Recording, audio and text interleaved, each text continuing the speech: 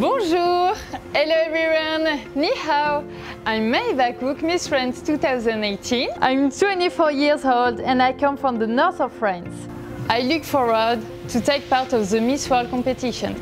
I choose this organization because I know that Miss World is not just a beauty contest. It's a beauty with a purpose. And to me, it makes us the difference.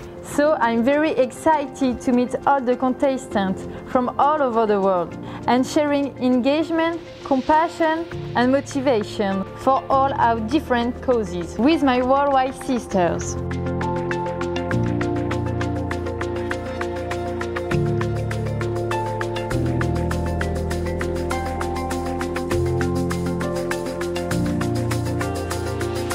France is waiting for the Miss World title since 1953. So it's been more than 65 years that French people are desperately waiting the Miss World crown.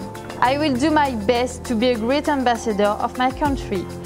See you soon in Sanya. Au revoir, merci, thank you and xie.